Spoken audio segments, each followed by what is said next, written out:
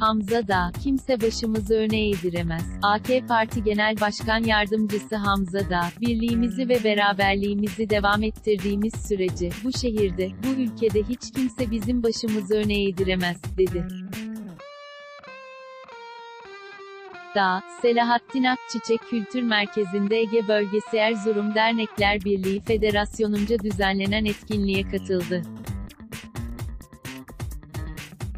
Etkinlikte konuşan da, herkesin farklı memleketlerde dünyaya geldiğini ama yılların herkesi farklı coğrafyalarda bir araya getirdiğini söyledi. Birliğimizi ve beraberliğimizi devam ettirdiğimiz sürece, bu şehirde, bu ülkede hiç kimse bizim başımızı öne eğdiremez, diyen da, bunun en somut ve güzel örneğini son 2 ila 3 yılda yaşanılanların çok net gösterdiğini aktardı birlik ve beraberlik vurgusu yapan da, şöyle devam etti. Bugün ülkemizde yaptırdığımız araştırmalarda ve anketlerde, ülkenin en temel sorunu terör meselesini artık alt sıralara indirmişsek, güney sınırımızda bir terör devleti kurmaya çalışanlara kahraman askerlerimiz Cerablus'ta.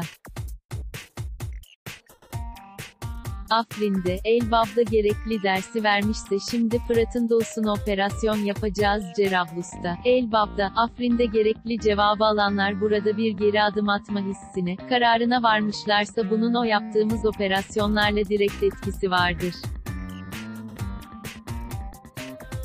Birliğimizi ve beraberliğimizi en temel konularda sağladığımızda, orada siyasi parti görüşünü bir kenara koyarak milli meselelerde beraber olduğumuzda neler yapabileceğimizin en net somut göstergesidir. Bir zamanlar bir ifadede bulunurken, acaba Batı ve ABD bu ifademizden alınır mı? Bir sorun olur mu, diye düşünürken şimdi, biz bu kararı verdik, uygulayacağız, aşamasına gelmişsek bu bizim o renk cümbüşünü bir arada tutup o beraberliği sağlamamızdandır. Bunu da bugüne kadar nasıl yaptıysak bundan sonra da aynı şekilde başarmaya devam edeceğiz.